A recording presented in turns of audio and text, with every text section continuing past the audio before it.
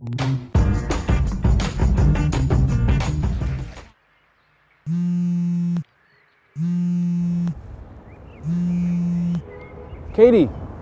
where are you?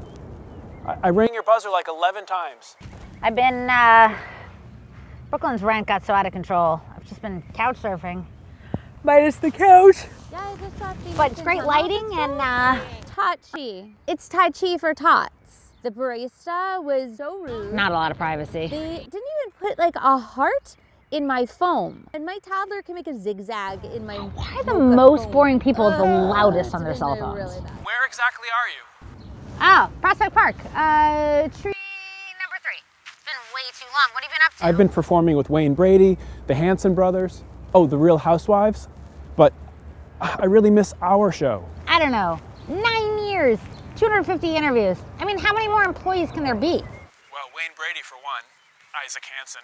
And way too many housewives. Since Trump, though, I've just been down. I cut out wheat, sugar, dairy for like the whole 30 minutes. And I got a therapy dog. Don't you already have a dog? I got a therapy dog for my therapy dog. It's just too much to put on one dog. How does one even get a therapy dog? I saw dogs dressed up as bees. Wouldn't you think the owners in that are better? After Trump, it's just been perpetual traumatic stress disorder. I keep hoping for the post in PTSD. That's why we need to do Employee of the Month.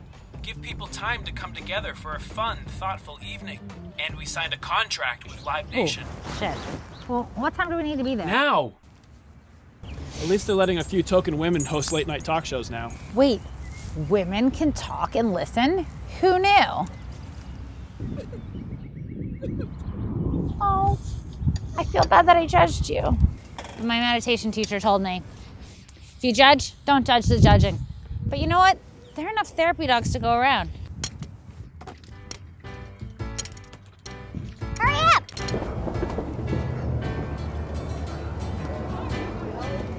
Come on! Come on, let's go! Um,